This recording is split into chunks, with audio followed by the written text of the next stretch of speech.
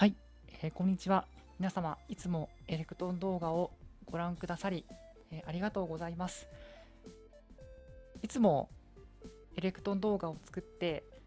で、あの皆さんにいろんな動画を ご覧いただいて、えー、本当に感謝をしております。ありがとうございます。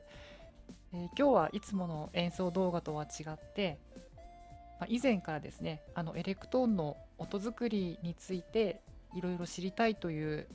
あのコメントをいただいたこともありまして、えー、初めてながらその音作り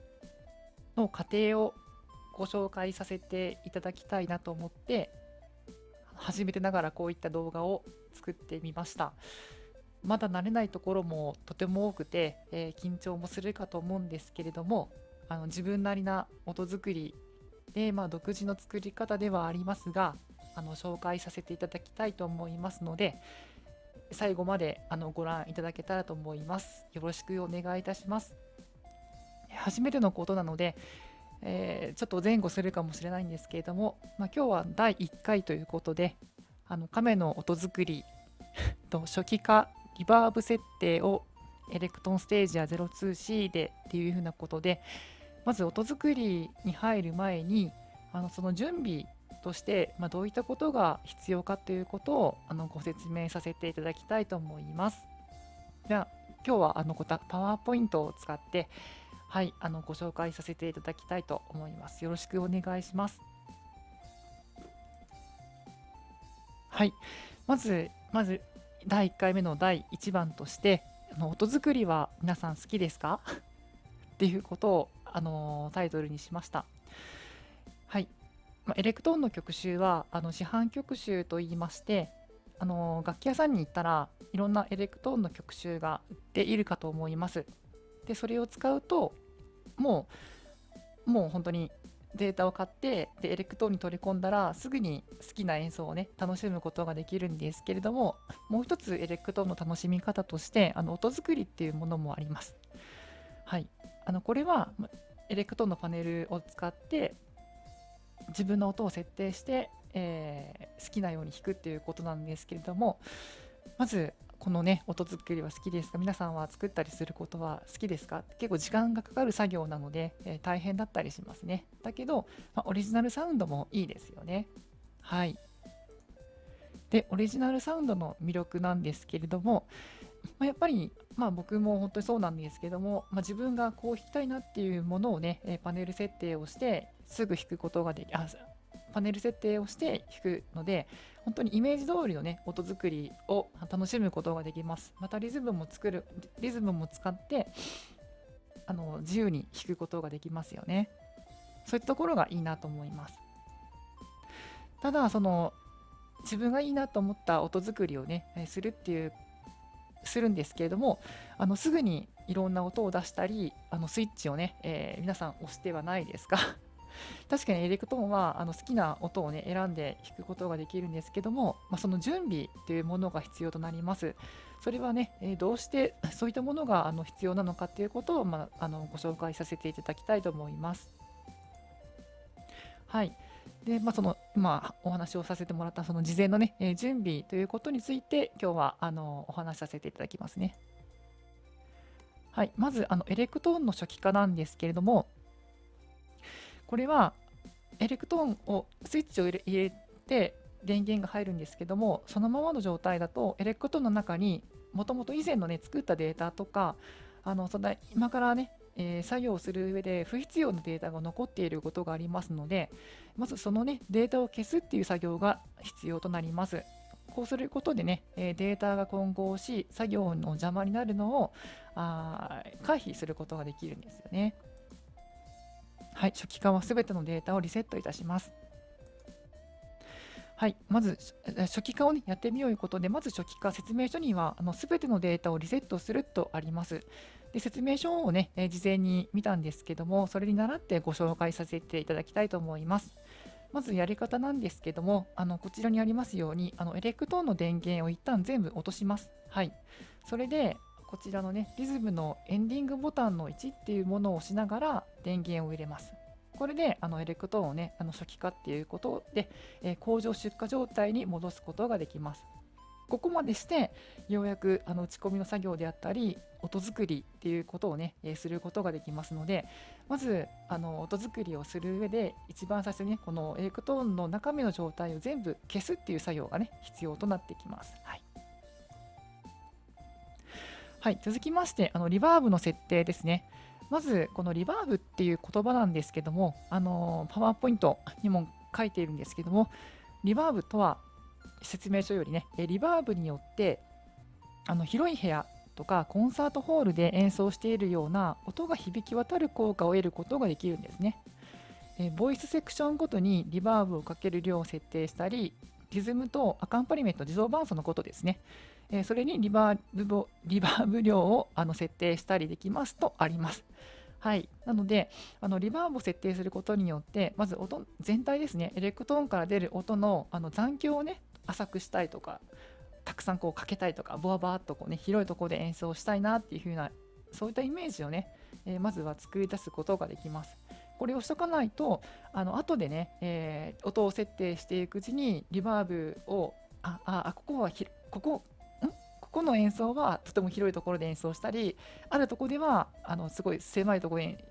狭いところで演奏しているようなそういった本当にそのばらつきが、ね、出るようになりやすいのでそういったところをね、えー、軽減するためにまずはあのリバーブの設定をすることが必要となってきます。はい、これ僕いついつもやってます。はい、あのパラメーターの度合いの違いということであのエレクトーンではあのリバーブのあの度合いをねコントロールすることができるんですよね。はい、まずこちらにあのエレクトーンの右上のパあ左上のパネルにリバーブっていうものがあるんですけどもあのパネルのスイッチ上では 7, 7段階押すことができます。まあ、画面上ではもっと細かく設定することができるんですけど、まあ、今回簡単にあのこちらの、ね、リバーブのボタンで説明させていただきますね。で、エレクトーン全体の音の、ね、残響を設定することができます。えー、疑似的に空間の広さを、ね、調節することができるんですよね。はい。で、あの今画面に出てるんですけども、あの深く、ね、リバーブの設定をかけることによると、あの残響がね、わーんとこう広くあの広い場所で演奏しているかのようなあの雰囲気を得ることができます。例えばですね、あのドームであったりとか、ライブ会場とか、とても広いライブ会場とか、映画館とか、教会っていう風な、本当にそういったもう本当空間が広いところにエレクトーンを置いて演奏しているかのような響きを得ることができるんですよね。どちらかというとこう音楽のジャンルでいうとこうバラードとかゆゆったりめの曲とかねあとは何だろうね「タイタニック」とかマイハートビルゴーンとか、なんかそういったなんか本当にこう感動ね、涙を誘うような曲とかには、こういったあの深みがいいかもしれませんね。はい。で、まあ、逆に今度浅め、ね、リバーブの値を本当下げる。こうすると、さっきの広いところの空間よりかは、今度逆で、あのごくこう狭くちっちゃな場所で演奏してるかのような雰囲気になります。はい。なので、あの音がプチプチってこう切れるような感じになるんですよね。はい。残響の余韻が本当にあの浅い浅いんです。狭い場所。で例えるなら、まあ、小ホール、ね、ちょっとこうこじんまりしたようなところで弾いているところであったりとか、あと普通に一般的なこう部屋とか、あとまあ極端に言えばトイレとか そういったところでね、演奏しているかのような音になります。でこのねもうほんと極端なんですけども広いとこもあれば狭いとこもあるんですけどその真ん中の中間っていうのもあります。この中間は本当にリバーブの真ん中のボタンを押せばよろしいんですけどもそうすると、えー、こういうふうに中間ですね。残響の余韻が程よい平均的な、まあ、無難な響きになるんですね。本当に音楽教室とか中ホールとか、まあ、小規模なライブハウスっていったようなまあ本当にどのね音楽ジャンルを演奏してもまあまあ無難な響きになるのがこの、えー、中間のとこですね。はい。まあ実際に音をね出してみましょうか。でまず、えっ、ー、とですね、深めにかけた時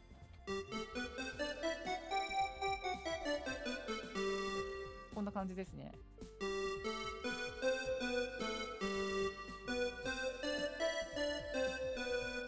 すごい広い広いんですね。でこれを下げるとこうプチプチって、あ、これちょっとディレイがね、かかってるんですけども、ディレイ切ろうか。